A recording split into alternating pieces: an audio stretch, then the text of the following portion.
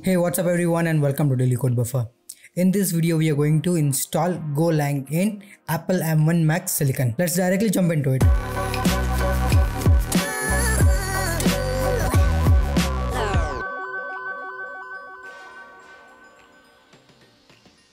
Just go to the golang.org over here in your browser and go to the download go over here okay and if you see over here there are a lot of packages available okay? So and so for the mac we need the arm version available over here. So this is the version over here. You can see that go 1.16.5 darwin arm 64 package over here for arm processor okay?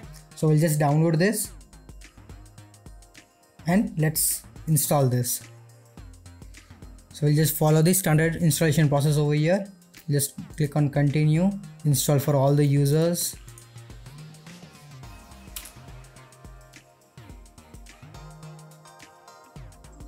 here you can see that the installation was successful. Let's close it out.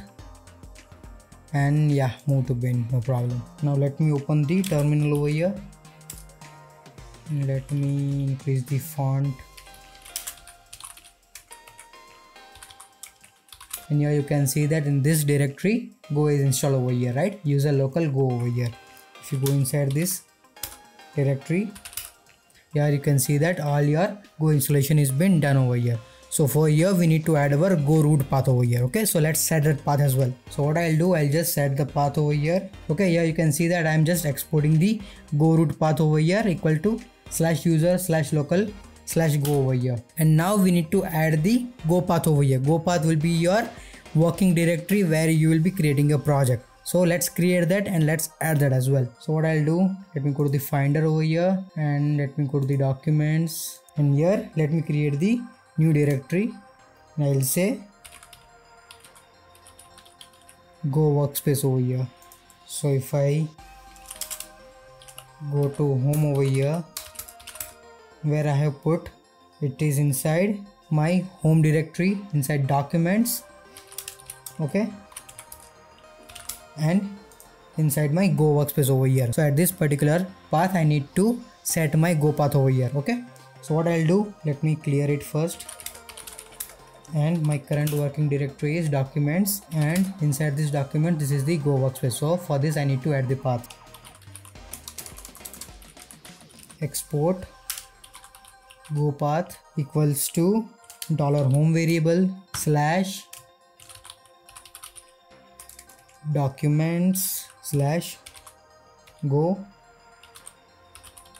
workspace over here. So what i'm doing over here is export go paths dollar home slash the document slash go workspace over here. So i'm just exporting the go path over here. And my go path is exported. Now i need to add go path and go root to my path variable. So what i'm doing over here i'm just exporting the go path variable.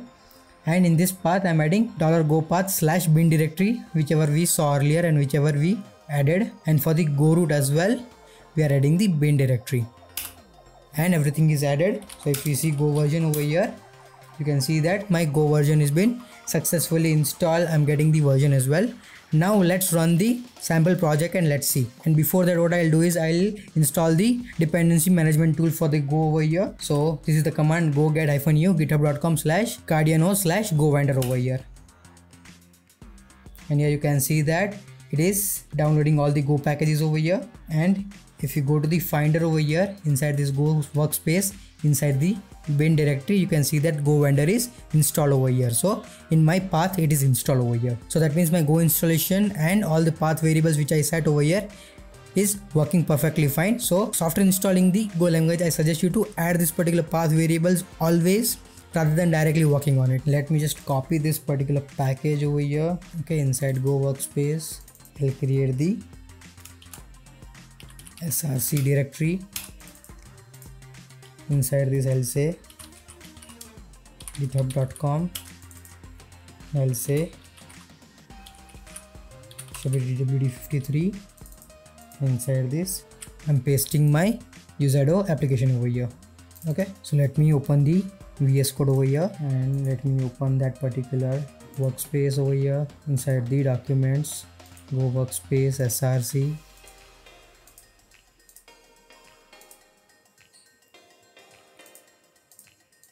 and this is my project over here okay? Let me install all the dependencies for my VS Code as well. Everything is installed. My VS Code is also ready to work with the Go language as well. So let me go to the terminal. If I do Go version over here I should be able to get it and if I do Go build over here I should be able to successfully do it over here. So everything works fine now. So this was it, a quick video to install golang in m1 silicon macbooks over here. Now if you are facing any issues over here then do let me know in the comment section below. I will try to help you out as soon as possible. If you like this video give us a thumbs up and subscribe to my channel for the upcoming videos. I will see you in the next video. Till then happy coding. Bye bye